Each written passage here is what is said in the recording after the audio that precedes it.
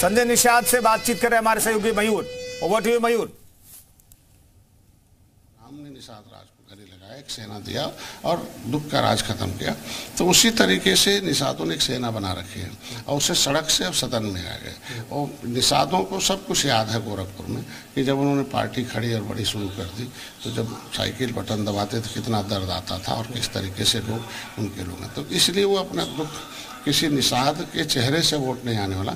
इससे पहले भी बहुत निषाद लड़ते रहे पिछली बार भी लड़ते रहे। अब कोई जिस निषाद की आप बात कर रहे हैं गोरखपुर का कोई निषाद नेता खड़ा हो चूँकि कोई भी समाज किसी नेता और किसी नेतृत्वकर्ता के साथ रहता है चूँकि उसके सुख दुख में थाना पुलिस वो देखता है शादी विवाह उसके दुख दर्द में खड़ा तो ऐसे कोई एक सिंगल नेता चेहरा बता दीजिए गोरखपुर को उनके साथ सर आपने बात की सुख दुख में खड़े रहने की नेता की। रवि किशन के बारे में बोल रहे हैं दिल्ली मुंबई रहते हैं बाहर रहते हैं यहाँ से लेना देना नहीं है यहाँ आते जाते नहीं है। काजल निषाद कह रहे कि हम लगातार अपने लोगों के बीच हैं, मेहनत कर रहे हैं। तो बाहरी आदमी पर ट्रस्ट यहाँ की जनता नहीं करेगी इस बार। काजल निषाद के साथ है वोटर।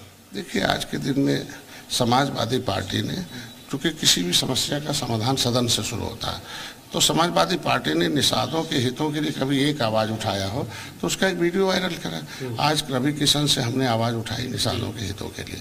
योगी जी खुद उठाते रहे और डॉक्टर संजय खुद उठा रहे हैं। तो एक जो लंबा वोट बैंक है निषाद तो उसके सुख दुख के साथ तो हम लोग खड़े हैं। हमारी पूरी सेना खड़ी हुई है निषादों के सुख जहर जिस भी तरीके से। पहले इनके समय सपा बसपा के समय कितना दर्द मिलता था कितना अपमान मिलता था हाँ?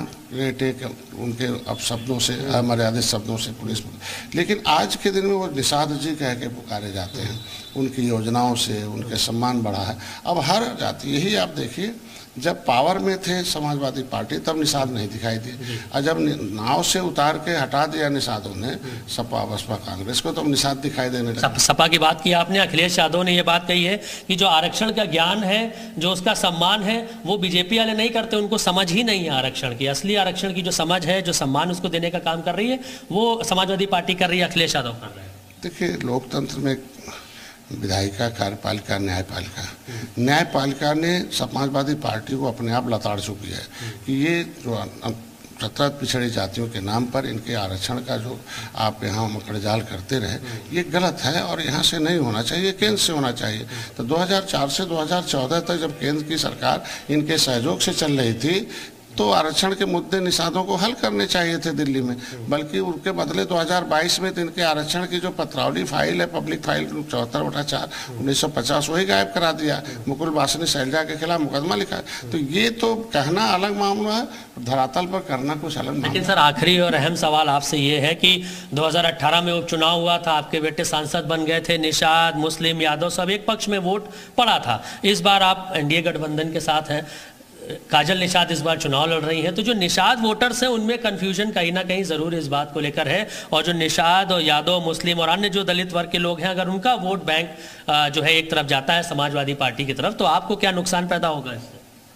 आपने देखा होगा 2018 में हम लोग तो Nishad party peace party Bahujan Samaj party Samajwadi party ये चार पार्टी चुनाव लड़ी थी। और निषाद पार्टी की जड़ है गोरखपुर यहाँ टीम है पूरी सेना है।